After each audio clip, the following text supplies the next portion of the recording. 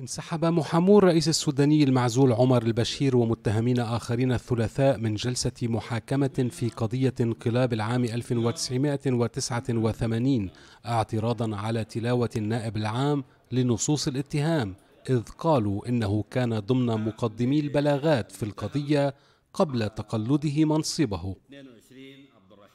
تم تقديم اعتراض من بعض المحامين على أن السيد النائب العام بصفته وشخصه يقدم هذه الخطبة لأنه كان قبل أن يصير نائبا عاما قد فتح بلاغا في نفس الموضوع بنفس الرقم كان شاكيا بصفته الشخصية وبالتالي لا يستقيم أن يجمع بين الصفتين إنه نائب عام وإنه شاكي.